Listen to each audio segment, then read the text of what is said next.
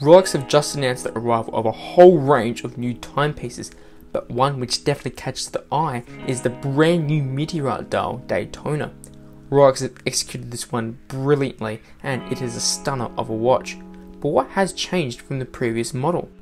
In this video, I'll be reviewing this Daytona and telling you what's new with the model. But before we get into that, please consider subscribing to this YouTube channel where I dive into the world of watches and create videos relating Rolex and other quality timepieces. Also, make sure you like this video if you are excited for this new release. The Cosmograph Daytona's main feature, which has been raising eyebrows, is an absolutely magnificent dial which has so much detail and is crafted to near perfection. The background draws inspiration from a meteorite, hence giving it that name, and it's very complex and detailed. It has a grey backdrop with various darker sketchings in order to give it a rough and rocky look. Other than the dial, the layout is pretty much the same as previous models. This is because the sunburst black subdials are identical and the hour markers are still the classic Daytona shape.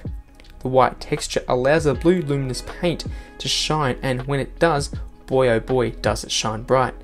Another nice touch on the dial is the red Daytona text, which gives it an almost retro feel as it is kind of reminiscent of the older 1960s Panda models. The case, however, has remained pretty much untouched as it is in the basic and contemporary 40mm size. The material is special, however, as to match with the silver dial, 18 karat white gold is used to further elevate the Daytona's luxury status and to provide it with a flashy look but Rolex also have made this model in a full solid 18 karat gold and 18 karat Everose gold material which could send this piece to a whole new level and without a doubt to a whole new price point. The pushes, lugs and thickness once again have stayed the same but still are well proportioned and classic. Additionally, the black ceramic bezel is featured with the legendary tachymeter and contrasts nicely with the subdials and the strap. Speaking of the strap, it is very interesting and has a new feature. Since it is the Rolex signature Oyster Flex rubber strap, it usually would taper straight onto the case, but on this model there is an, a difference. An additional white gold end link has been used on the strap to provide a sharp and separated look.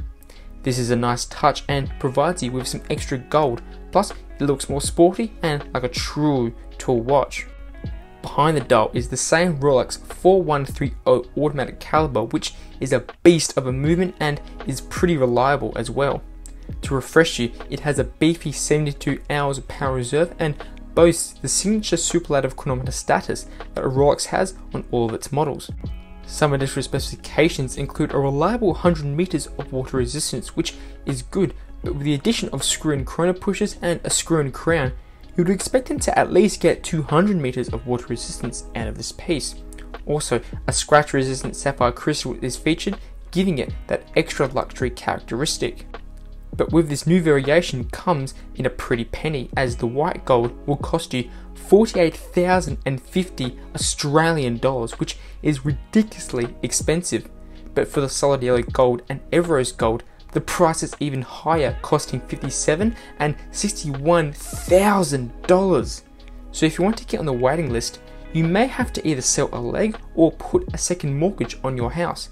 But with saying that, the brand new Rolex Daytona is a stunner of a watch and deserves the praise. Click the video on the screen right now to see a review of the brand new two-tone 36mm Rolex Explorer that was released today. Make sure you subscribe to this channel to see more future Rolex reviews and like this video if you approve of the new Daytona. Thanks for watching and see you later.